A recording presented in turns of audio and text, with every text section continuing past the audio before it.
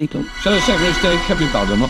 Yes. Yeah. Mr. Speaker, Labour have made a big song and dance about tackling rogue landlords. No doubt they would have been made aware of revelations this morning about the member for Ilford South reported in the Londoner.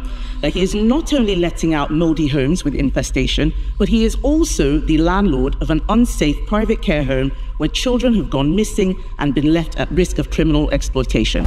Do they have plans to tackle the rogue landlord on their own benches? First.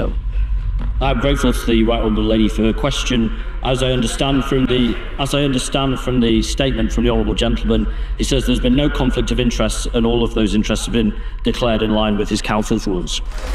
Can Could I just say, I presume you did let the member know that you were raising him on the on the floor of the House. No, no, I did not. Can I say to all members, you cannot do that without giving notice to a member. Second question. I presume it'll be different.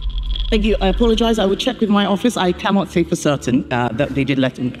Um, does the Right Honourable Lady agree that reducing the capacity of councils by 20% by allowing workers an additional paid day off every week, which is what a four day week actually is, is unacceptable and does not provide good value for money to taxpayers or residents? Of State. Well, Mr. Speaker, I'm really proud of our Employment's Right Bill, and I'm really proud to stand here as someone who says and advocates for flexible working. We don't dictate to councils how they run their services, we, we work with councils, and I think the Honourable Lady should be able to work out that flexible working is no threat to business, no threat to the economy. In fact, it will boost productivity. In perfect.